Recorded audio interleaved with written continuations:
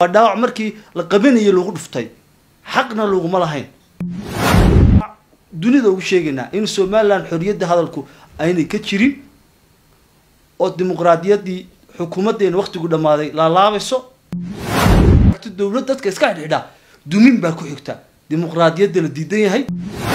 Aan ku qabanay xafiiska xisbiga wadani ee magaalada hargeysa. Wuxuu daaran yahay xadhigga weriye bushaare baande oo shan iyo tobankii may laga soo xidhay magaalo xuduudeedka wajaale ee gobolka gabiley arrintaasoo oo aanu bayaan ka soo saarnay mar labaad ku celinayno culayskay leedahay weriyaha weyn ee reer somalilan ee madaxa bannaan ee inantaa waxaan ku celinaynaa mar labaad in xoriyaddeedu si deg dega oo bilaa shuruuda ugu soo dayso xukuumadda.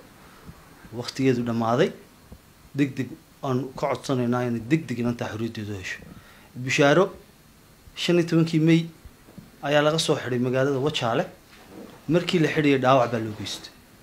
Shacbiga somalilan bulshada reer somalilan dunida waxaan u sheegaynaa inay bishaaro dhaawac qabto lugta ah oo markii la qabanaya daankana wax ka qabto nabarka ka dhacay markii la qabanaya siday qareenadeedi iyo ehelkeeduba sheegeen iyaduna sheegtay welina may arag dhakhtar khaasa oo arrinteeda la tacaala. Waxaanu caddaynaynaa oanu dhiclaar garaynaynaa in bishaaro la soo qafaashay. Markii ay magaalada wajaale laga soo xidhayay qafaalasho weeye xadhiggeedu sababtuna waxa weeye qofka marka la xidhayo waxa loo baahan yahay in waaran maxkamadeed garsoore awood u leh inuu soo amro soo qabashada qofkaa hadduuna markaa faldembiyeed ama fargaraas ku gacanta kula jirin oo faldembiyeedkii lagu qabanayn wuxuu maxkamaddu iyo iyo garsoore awoodda u leh. Waaran looga soo qaadanaya qofka la qabanayo la xidhayo taasina may dhicin. Waaran la'aan baa lagu soo xidhay bishaaro iyo dad badan oo reer somalilan ah oo maalin walba waaran la'aantaa lagu soo arrintaas waa arrin foolxun arrintaas waa arrin sharci daraa arrintaas waa arrin qafaalasha oo dadka muwaadiniinta iyo dadkaa muwaadiniinta ahaynba. Sharci looguma laha xaq looguma laha. In qofka la iska soo xidhay isagoo aan waaran loo soo qaadan. Shalay toole bayaan ay soo saareen booliskeenu waxay ku sheegeen inay markiiba horgeeyeen maxkamadda. Xuquuqdii qofka markii koowaad lagu soo xidhayay bay lumiyeen ee waaranka ahaa markaase waxay inoo sheegayaan leeyihiin markiiba maxkamad baa horgeynay maxkamad miyay ka soo qaateen? Waaran ku soo qabtaan? Qofkan eedeysanaa waa maya. Markaa waxaan u aqoonsanay anugu bishaare dambilaawe inaynay dembi lahayn la soo qafaashay dhib loo geystay weriye xirfad leh oo karti badan oo soo bandhigta dhaliilaha xukuumadda muuse biixi waqtigeedu dhammaaday ayaan u aqoonsannahay. Waxaana lagu haystaa maxaad barnaamijyada xaqiiqda taabanaya ee ummadda reer somalilan wada og ee qalinka qaloocda madaxweynaha ee dowladnimadii dhinaca u leeciyey? Maxaad ummadda ugu bandhigaysaa? Ay ummaddiinu ka wada dheregsan tahay. Bishaare cidna may dilin qorina may soo qaadan hadal iyo qoraal baa lagu haystaa. Dastuurkaana damaanad qaaday dadku inay fikirkooda ku dhiibi karaan. Qoraal hadal suugaan iyo isku soo bax.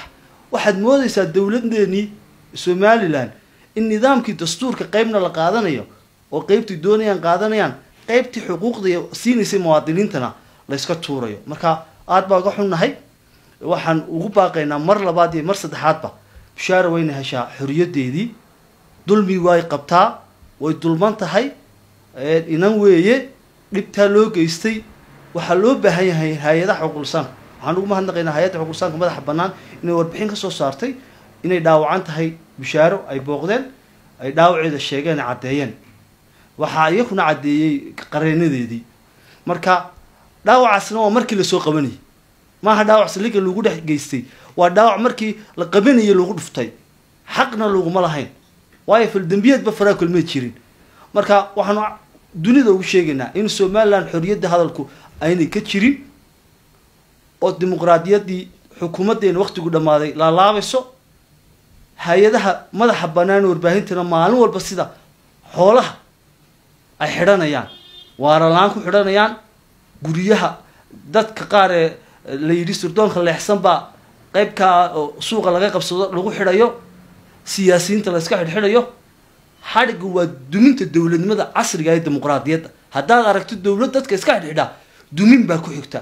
Dimuqraadiyadda la diidan yahay dowladnimada la diidan yahay kala rayduwanaanshaha iyo hadalka xorta la diidan yahay markaa waxay ku xigta keligii taliya. Markaa dee musabixii keligii taliya noqon maayee ummaddu way iska qaban doontaayo way diidi doontaayo. Dadku iyo u arkin qofka la xidho wax yaroo simbala haddii weliye la xidho haddii siyaasi la xidho haddii ummadda haldoorkeeda la xidho waxaa ku xigta kaligitalinimo marka aad baa uga xunnahay nidaamka faashilka ahayd dowladda lixda sano maamulayey xadhigaasunbuu soo caanbaxay.